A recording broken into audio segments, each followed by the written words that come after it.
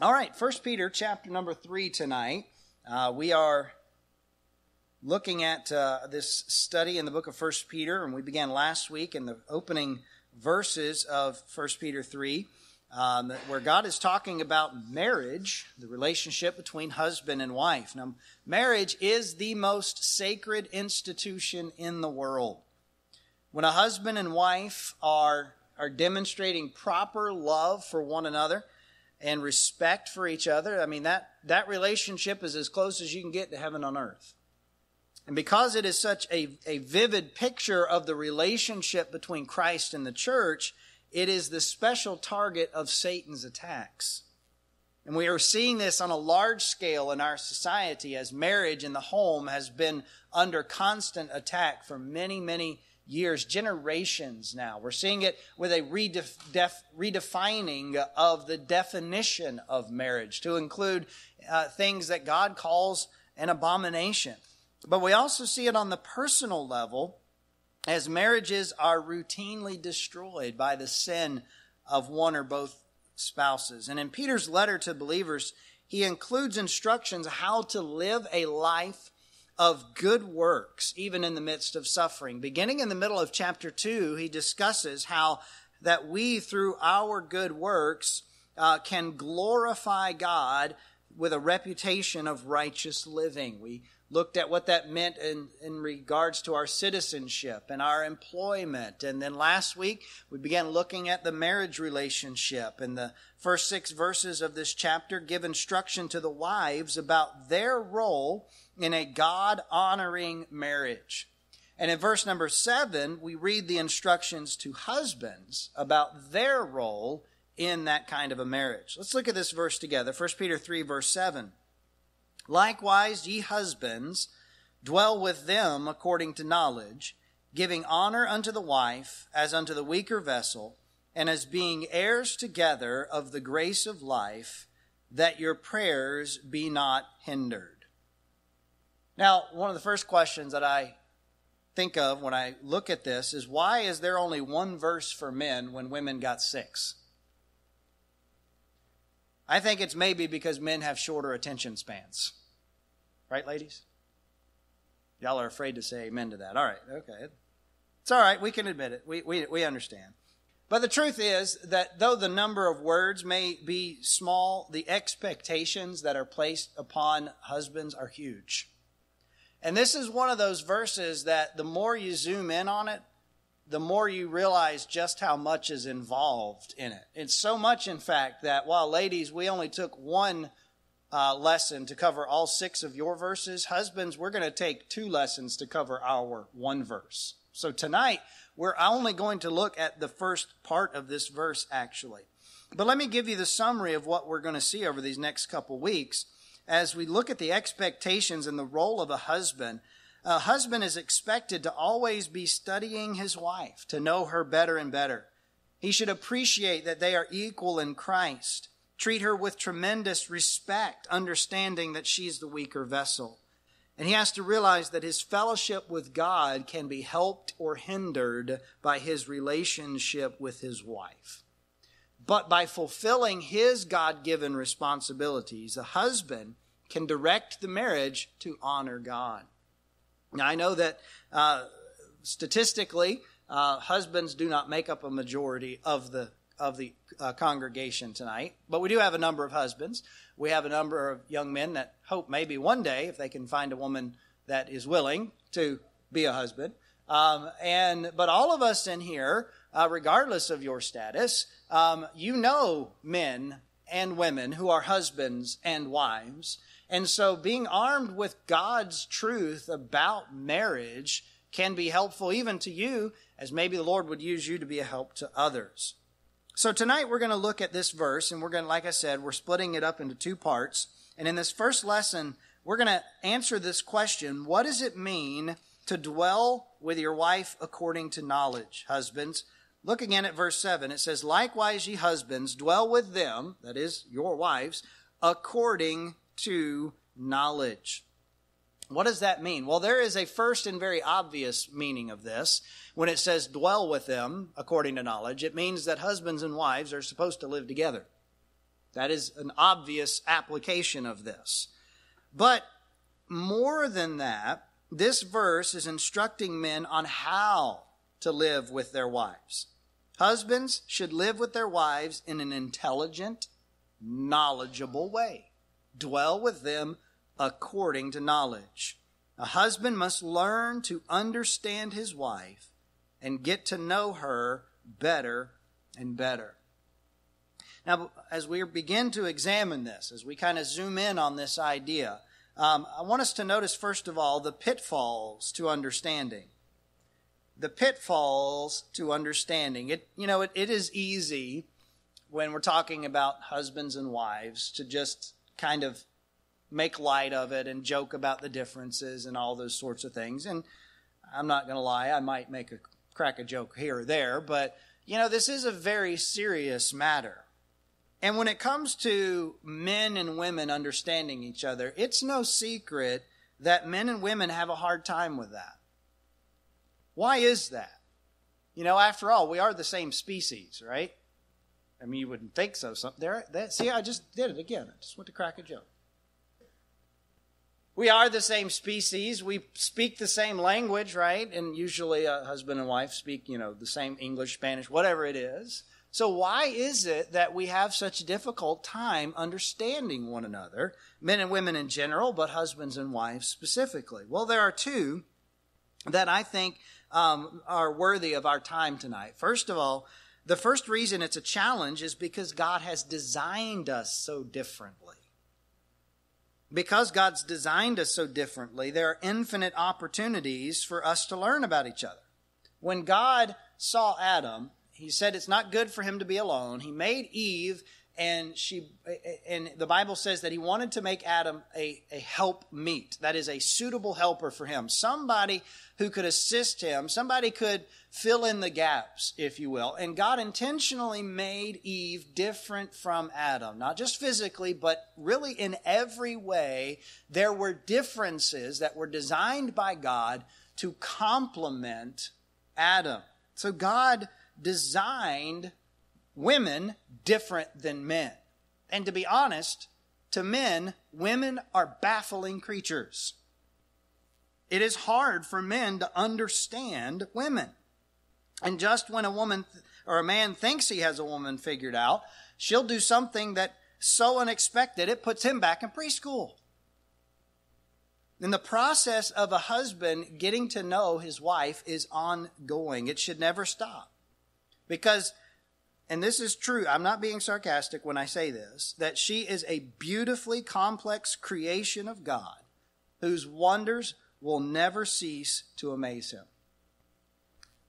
Now, before sin, this wasn't a problem, this differences between husband and wife. They could communicate together perfectly. There were no secrets between them. They were free to be open and to share their, sh- their hearts without fear of being misunderstood or being judged harshly. Adam and Eve were not omniscient.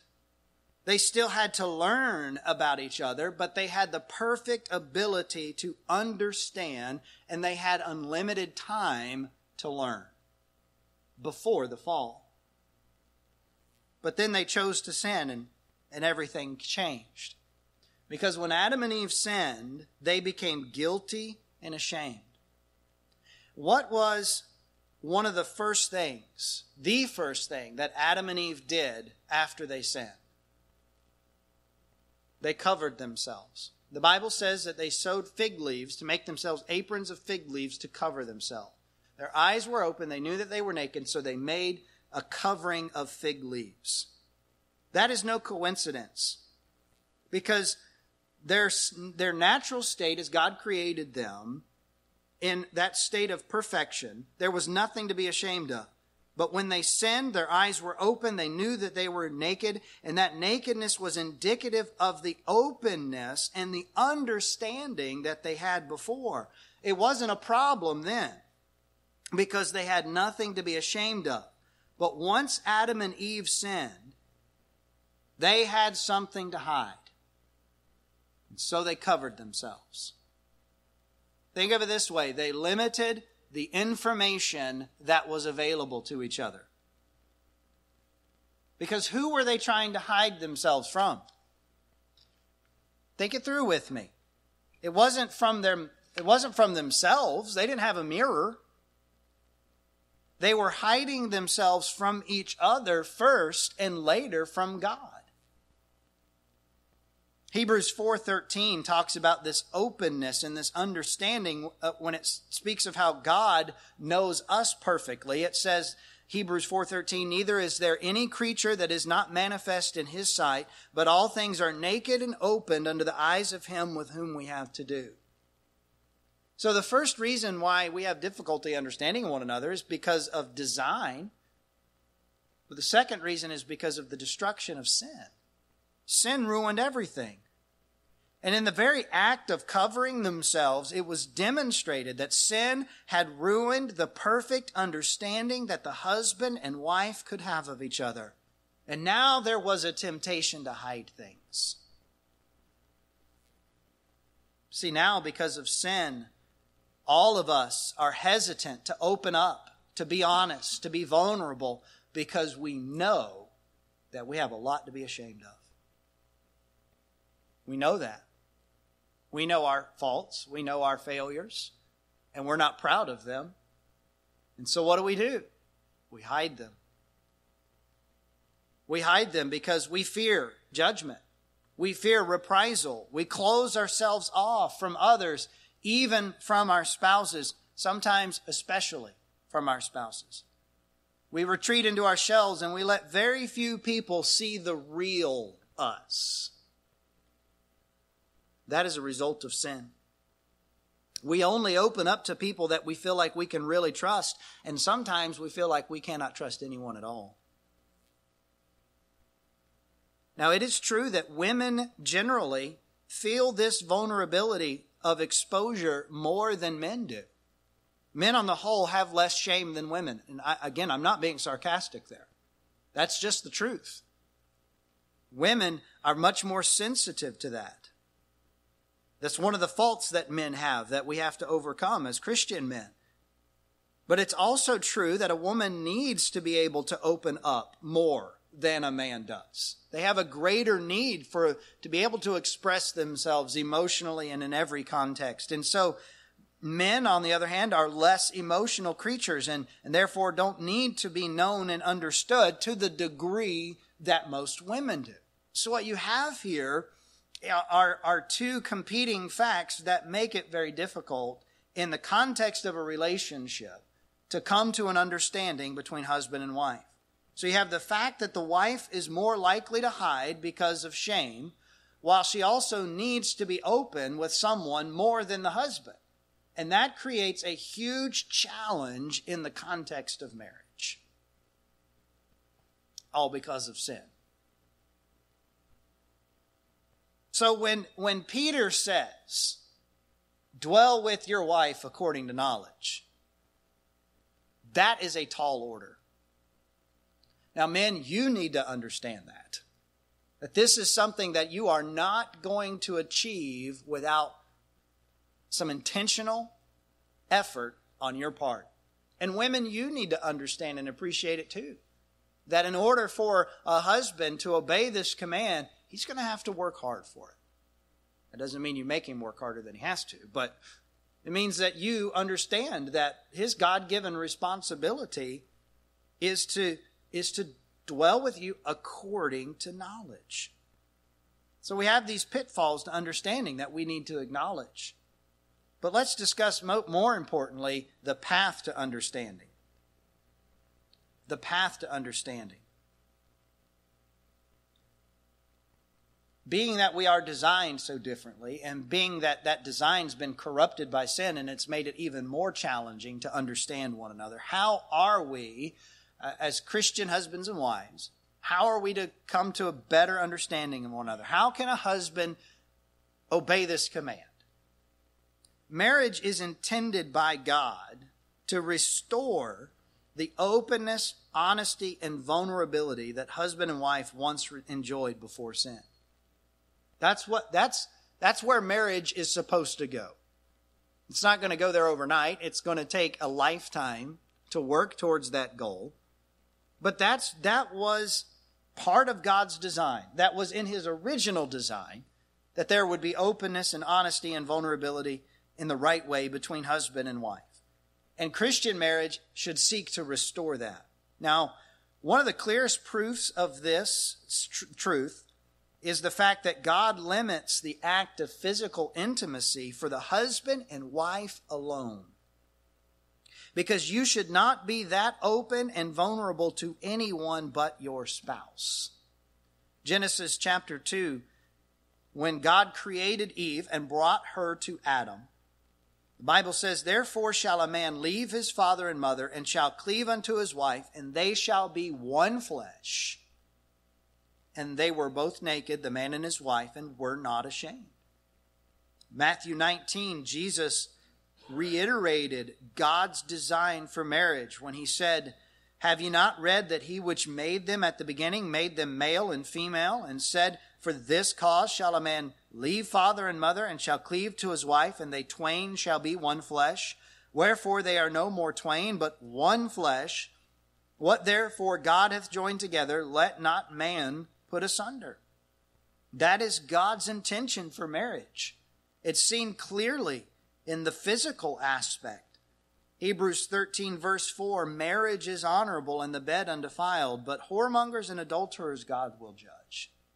So there's to be a oneness there, an openness, and an honesty and an understanding reserved for only the relationship between a husband and wife. The physical intimacy between husband and wife is unique in this special regard. Physically speaking, it's through it that the highest degree of knowledge and familiarity is gained. That's why in the Bible it's called that act of intimacy is called knowing. Genesis 4 1, Adam, and, Adam knew his wife, and she conceived and bare Cain and said, I've gotten a man from the Lord. That's what marriage is supposed to do. It's to re- supposed to be restoring that knowledge. A husband's knowledge of his wife includes the physical aspect, but it's certainly not limited to that. A husband should seek to know his wife in every way physically, mentally, emotionally, and spiritually. So, how are we to accomplish that? What is the path here? I'm going to give you three steps tonight on the path to understanding in a Christian marriage. Step number one is the step of redemption. A husband should learn how his wife thinks, how she feels, what her likes are, what her dislikes are, how she views the world, what are her hopes and fears. But to do this, the husband must create an atmosphere in the marriage where the wife can feel comfortable opening up to her husband and letting him know her for who she really is. And the first step in doing that is in creating that atmosphere is spiritual redemption. What I mean by that is that the gospel must be applied to the marriage relationship for it to work as God designed. It must be. There's no way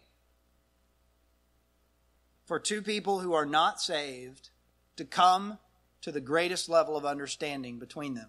They can't without God.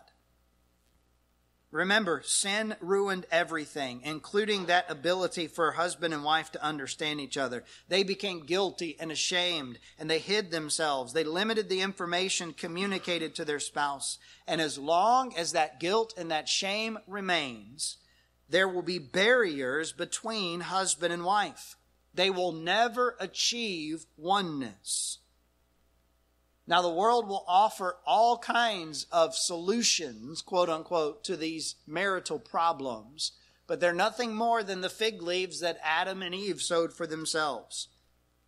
All of the self improvement in the world will never be enough to make up for the guilt and the shame that we have, and we will be left with the urge to hide from God and from others.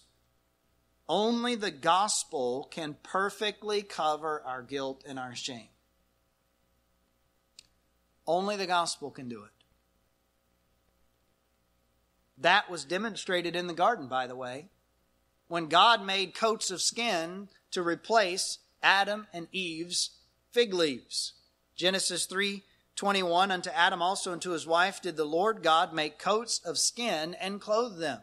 In order for that to happen, an animal had to be killed. God had to, the, God had to kill an animal in the place of Adam and Eve to take the skin of that animal to make a covering for Adam and Eve's guilt and shame. That was a picture of what Christ would later do for us on the cross. He died on the cross in our place. He shed his blood for us to atone for our sins. That word atone literally means a covering. The blood of Christ is what covers our guilt and our shame. It removes it from us as well so that we can stand before God in humble confidence that we are accepted by Him through Christ Jesus. That's what the gospel does. It makes us acceptable to God so that we do not have to be ashamed when we stand before Him. He was buried and He rose again so that we might have eternal life in His name, so that we could be saved from our sins. Therefore, being justified by faith, we have peace with God through our Lord Jesus Christ. And when both husband and wife have accepted the sacrifice of Christ for their sins and know that they can stand before God unashamed, they can then stand before each other unashamed. You see how important the gospel is to marriage?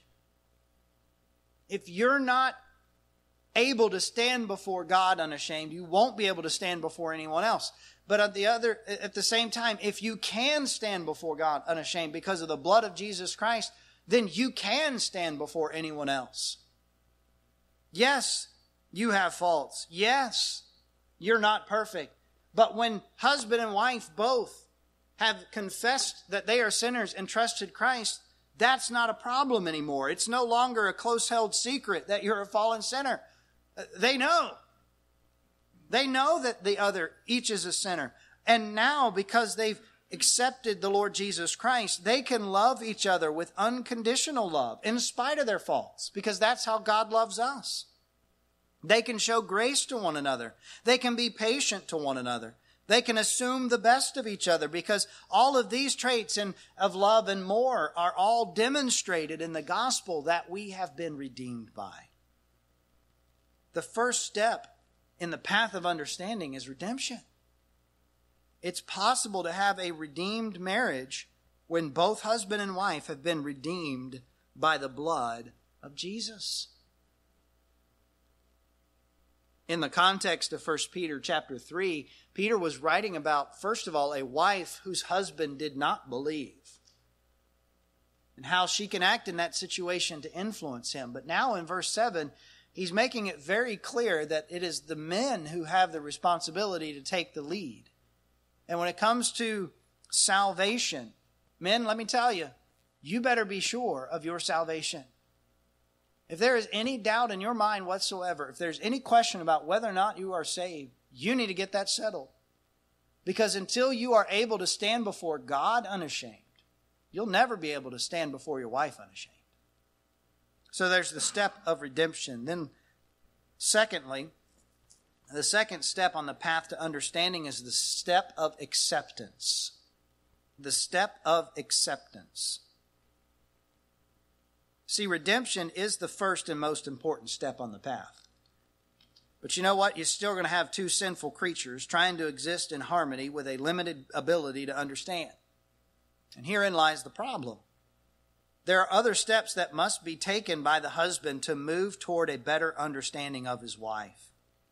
So if a husband is to dwell with his wife according to knowledge, he must carefully communicate to his wife in a way that she understands that he accepts her for who she is and she is safe opening up to him. It is the husband's responsibility to set this tone in the marriage. He has to make sure that he is taking the lead in communicating this, in creating this atmosphere, setting the tone, if you will. The wife will always be tempted to hide herself, especially when she is made to feel that she has something to be ashamed of. She's always going to have that temptation, men. You need to just factor that in. Sometimes that can happen, that that is, she can feel like she has something to be ashamed of. Sometimes that can happen because of sin in her own life. Because with sin, again, comes guilt and shame. And a woman who has sin in her life and is questioning her standing before God because of the sin and the temptation to be guilty and shame that comes with it, then she's not going to have the ability to open up to her husband properly either. Only confession can cleanse that sin and restore to a right fellowship with God. A, wife who harbors guilt and shame is not only hurting herself, she's hurting her marriage too. The wife can also be made to feel that she has something to be ashamed of by mistreatment from the man whom she is supposed to be able to trust. When he shames her, she hides herself. He must let her know, the husband must let his wife know that he accepts her even though she's imperfect. Man, I hope you don't expect your wife to be perfect. Because it's not going to happen. You need to let her know that you love her even though she may at times not exactly act totally lovable. And even though many times she may not feel lovable, you need to let her know that you love her that's not as easy as it may sound because she is a fallen sinner who's tempted to think things that are not true. She may have experienced things in her life that make trusting her husband even more difficult, but it's the husband's duty to seek to know his wife better and better. And that begins by uh, not first with redemption and then by setting an atmosphere of acceptance. Many husbands have made their job harder than necessary, if not impossible, by being critical and judgmental of their wives. They've been ungracious with their wife's shortcomings and been hypocritical in judging her faults while denying or overlooking or downplaying his own.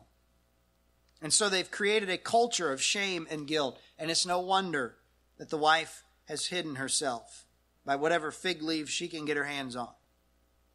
Instead, the husband must say and show that he accepts his wife for who she is, giving her permission to open up and be vulnerable to him. So there's the step of redemption. Secondly, the step of acceptance. And then thirdly, we'll simply call it the step of learning. The step of learning as the husband establishes this culture of openness and acceptance in a redeemed marriage, he should actively seek to get to know his wife better. And most men are secretly experts at how to do this. And if they would they would realize it if they just took a moment to think about it. If you are married here tonight, men in particular, I want you to think back with me before you married your wife. When you first met your wife, do you remember that time you met her the very first time? I remember when I met Lane the very first time. Walked into Sunday school one Sunday morning. I was in 11th grade, and here was this uh, young lady visiting our teen group from I didn't know where. And so, you know what I did? I went up and introduced myself to her. And I said, you know, good to have you here. My name's Stephen. What's your name? And she said, my name's Lane. And where are you from? Found out where she was visiting from. There were some girls in our youth group near where she had lived in Maryland. So I went and sat down and said, hey, uh, you should go talk to her. She's from where you used to live. And they went and talked to her, and the rest is history. But you know, that first day that I met her, I didn't know anything about her at all, except she was pretty. I knew that right away. but you know what? Over time, I got to know her a lot better. Men, how did you get to know your wife? When you began to be interested in her? What did you begin to do? You began to learn more about her. How'd you do that? By spending time with her. By talking to her. By listening to her. By paying attention to her. By asking questions so that you could learn more and more about her. Maybe you called it dating. Maybe it was going steady. Maybe it was courting. Whatever you called it, The purpose of it was spending intentional time with that woman who would become your wife because you wanted to get to know her. And this is my point. You know how to dwell with your wife according to knowledge. The problem is the knowledge part often stops when the dwelling part starts. That's too often what happens. Couple gets married and all of a sudden everything changes. And whereas before there was all kinds of interest that the husband showed in the wife and everything and wanted to know her, now all of a sudden it's like, all right, I got my wife. I can go on with my life now. Now, they may not think that way, but sometimes they act that way. Husband, you need to keep studying your wife. You should study her more closely and diligently than even the most dedicated scientific researcher. Sometimes that may be what you feel like as you're studying your wife. You may wish that you could pull out a microscope and look inside her mind and see exactly what's going on in there. And you wish that you had, uh, you know, millions of dollars worth of research equipment at your disposal to try and figure out what exactly is making her tick. But that is the level of diligence that you should show. Never stop learning about your wife. And let me tell you this for you young guys out there, especially, this is going to be real encouraging to you. The longer you are married, the harder you need to work to get to know your wife. You know, that's exactly backwards of common, common thinking, traditional wisdom. It's like, well, we've been married forever. We know each other. No, all you figured out is just how much you don't know about each other. What happens many times in a marriage is that over time, interest is lost. You know, the, the, fl- the flame burns low, the passion fades, however you want to say it. What was once fascinating is now ordinary. There's something called the law of diminishing returns. When you're talking about any different thing, to go from one level to the next level requires twice as much work as the previous level. And the same is true in marriage. To reach the next level of knowledge, you're going to have to work harder than you ever did to reach the previous levels put together. And you need to understand, man, that's your duty. That's your responsibility. And thankfully, if you will do it, it's worth it. Ecclesiastes 9, verse 9 says, Live joyfully with the wife of whom thou lovest all the days of the life of thy vanity, which he hath given thee under the sun. All the days of thy vanity, for that is the portion, thy portion in this life, and in thy labor which thou takest under the sun. Live joyfully with her. Have fun figuring her out. Some men are, are unwilling to put forth that effort, and the marriage stagnates. let me warn, let me warn you tonight that that stagnation in marriage can lead to some terrible things, even infidelity. In the worst case, a husband begins to invest his energy into getting to know another woman. She may be no better than his wife, probably not near as good but she's different. And that interests him. He begins to get curious. He starts asking the other woman questions, listening to her talk and learning more about her. And in so doing, he's already gone down the path of emotional infidelity. And if not stopped, it will likely lead to physical adultery. And let me just say this the same kind of thing can happen with pornography. Men, don't go there. That is a level of knowledge that is to be reserved for your wife only. Infidelity will destroy the atmosphere of acceptance and safety in the marriage. So dwell with your wife and only your wife according to knowledge. So you see tonight when Peter says, dwell with your wives according to knowledge, that's a tall order. But men, it's our duty and it's our privilege. As I was finishing up my notes for this message, I I was uh, reminded of a song from a musical called The King and I. How many of you have ever been subjected to that? I mean, you had the privilege of watching that. All right. In that musical, there's a character named Anna who's a British school teacher. She travels to Siam to be the governess to the king's many children. And she sings a song to the children entitled Getting to Know You. It's meant to be a cute, heartwarming song about a teacher and her students becoming familiar and comfortable with each other. And in the song, the character says, Getting to know you, getting to feel free and easy when I'm with you, getting to know what to say. Haven't you noticed suddenly I'm bright and breezy?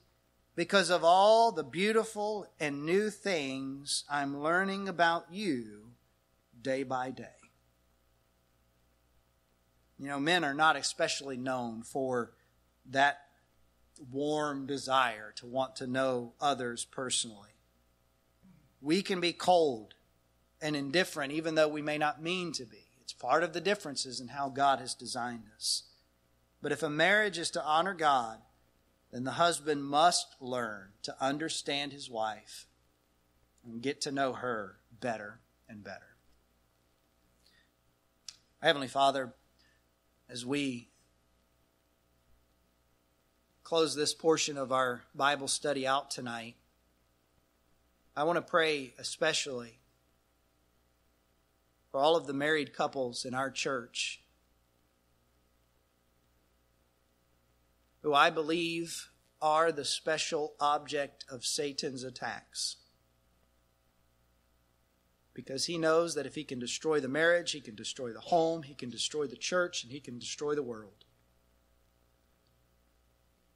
Lord, I pray that you would help every husband and every wife. Strengthen them in spirit to resist the temptations of the devil. That we would seek to have God honoring marriages.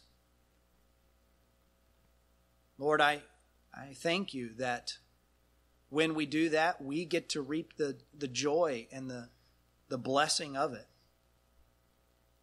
while at the same time we get to bring you honor and glory. It truly is a gift, Lord. And I say thank you for that gift, the gift of marriage. Lord, I pray that we would follow your plan faithfully for your honor and glory. In Jesus' name we pray. Amen.